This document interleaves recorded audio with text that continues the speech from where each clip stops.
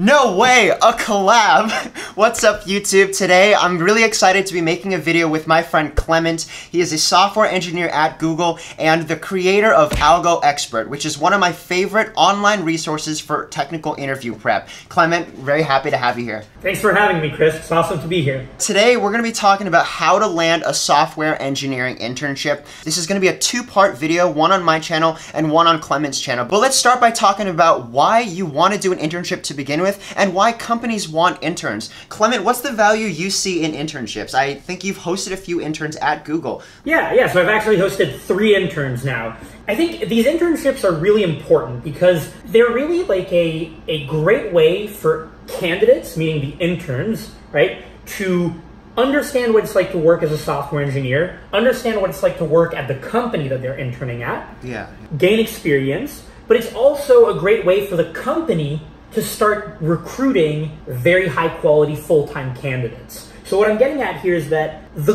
goal of the company is to get you to join them full time in a year or in two years, you know, or three years, depending on, on uh, how young you are in your career. So you are essentially treated like a full-time employee. And of course, it'll be like understood that you are early on in your career. So, you know, you might, you might need a bit more mentorship or a bit, a bit more, you know, hand holding. But at the end of the day, you know, you're gonna be put in the ocean, so to speak. So I think it's really important to emphasize that interns are only there for a very short amount of time. It's three to four months, and that's usually how long a full-time employee spends just ramping up and onboarding. So usually the level of productivity and output between an intern and a new hire can sometimes be about the same.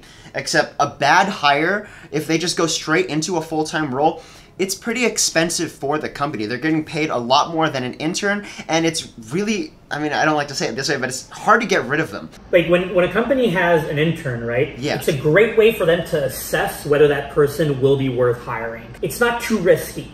It's only yeah. three months, and if the person just doesn't fit, you just don't give them a return offer. That makes them all the more important for the candidates, though, because that means that, like, if you do have, let's say, a 12 month, or sorry, a 12 week internship, you want to do your very best because you want to prove to the company that you would be worthy of getting hired full time.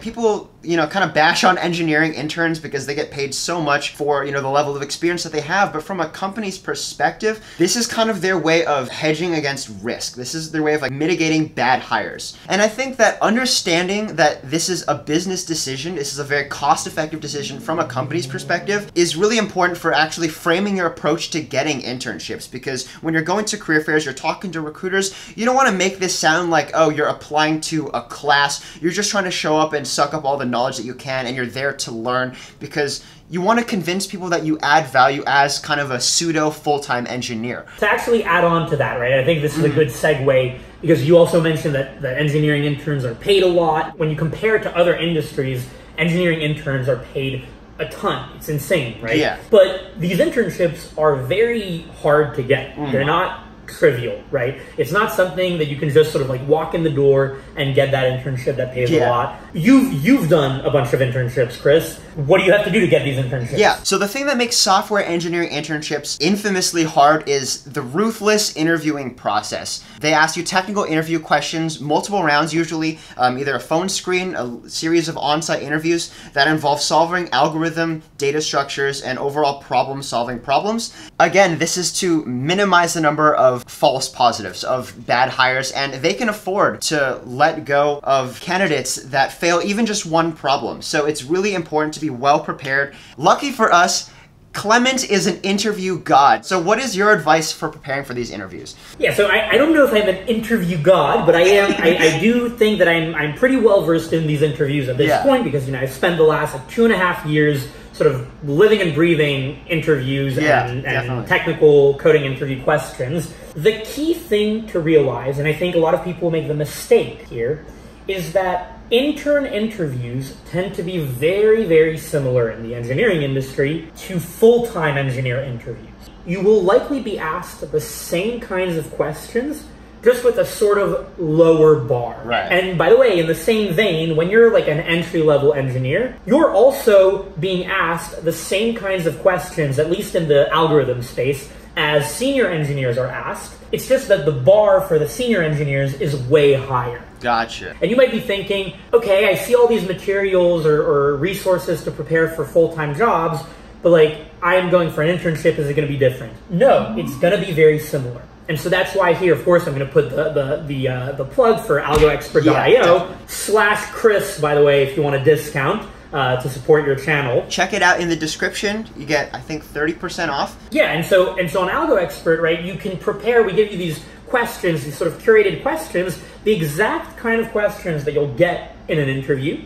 Right, and we we help you understand like how, how they work by showing you video explanations, you know, conceptually on a whiteboard, uh, coding it out. Right, you have a full work, uh, coding workspace, but it's really important to put the time to practice. Definitely. I would wager um, that you've probably put a lot of time to practice for Yeah, interviews yeah, when you definitely. apply for your internships. Too too many hours. Too many hours. Um, I think one of the most important things for me is practicing these types of interview questions as realistically as possible because I feel like Yeah. a lot of college students will just take the data structures course and they'll think that they're set. They'll just go back to their lectures uh, and notes that they took and they'll just kind of vaguely just review concepts and then go into an interview thinking that they're ready to go. And that's not always the case because interviewing is a very specific skill on its own. What did you actually do to prepare? What was a typical interview prep day like? I would put in, you know, like ten hours a day uh, doing these these questions. And I, the reason, by the way, like this sounds like a lot, right? Ten hours a day. Yeah. Um, I was under a time crunch. My the the very bulk of my interview prep happened in about I think it was 10 to 14 days. But ideally, like I would recommend, especially if you're a college student, give yourself some time. Much probably much better to do a question a day than to have to do, you know, 10 to 12 hours a day of algorithm. Definitely. Yeah, these interviews, they just pile on very quickly before you even notice it. Like, especially because when you're recruiting, you tend to use interviews as leverage to get other interviews and then offers to get more interviews. Like, I was kind of just cruising through the school year, just focusing on my classes and just living life as a sophomore in college. And then I got my Facebook interview, I got a Google interview, and a Lyft interview all within two weeks of each other. So I kind of had to very quickly just put everything on hold and just grind LeetCode, cracking the coding interview. Those are kind of memes at this point. Setting a timer for myself, actually recording myself on my phone to practice talking through problems. I would never watch the videos, but I would just record just to have that pressure like an actual interview. And trying to cram this into two weeks, it's a lot. It's really hard to predict how you're going to perform in an actual interview when you don't have that much of a track record, when you're just going off of two weeks, no matter how much you try to cram in there. And I think I think, you know, at the end of the day, like interviewing is a skill and you just have to practice them. Do you have some sort of like a ritual or method for doing interview problems? you know, people often ask you like, what are the what are the five steps that I should do in an interview, right? The key thing is to treat the interview as if you were with a coworker trying to solve a problem on a whiteboard. And you're the one sort of leading the problem or leading the discussion, and the interviewer is sort of your coworker that's there to kind of like assist you. How would you like if, if right now you and I were in a room and we were given a puzzle, right? Let's say you know like those escape rooms where you have to escape given a few clues or whatever. Yeah.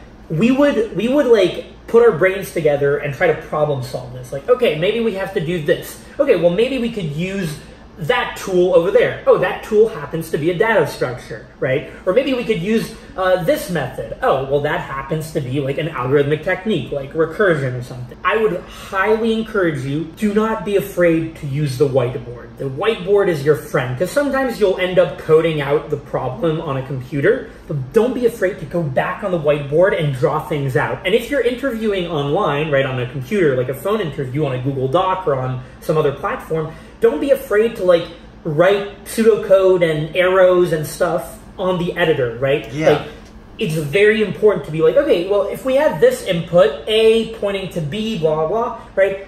Put it on the document.